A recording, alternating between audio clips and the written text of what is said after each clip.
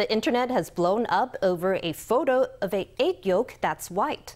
The consumer of the egg was joined by a group of netizens claiming it was the first time they had ever seen a white on white egg. But do white eggs even taste any good?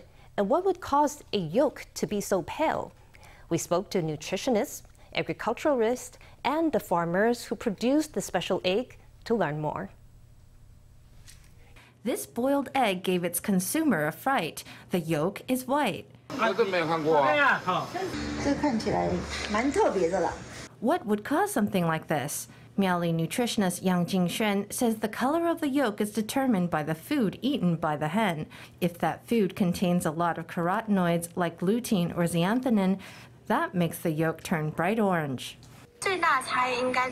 The biggest difference is in the level of vitamin A. There's usually a difference in the luteins too. We visited the egg farm to ask the owner. They say the main feed for their hens is non-GMO wheat.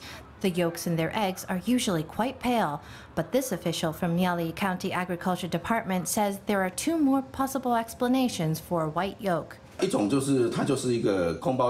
is that it's a blank cartridge. There is no yolk at all. Another is heat stress. Heat stress can also make the yolk tend towards a white color. Although white yolks are uncommon, nutritionists stress that white yolk eggs have the same protein content and calories as a normal egg and are nothing to worry about.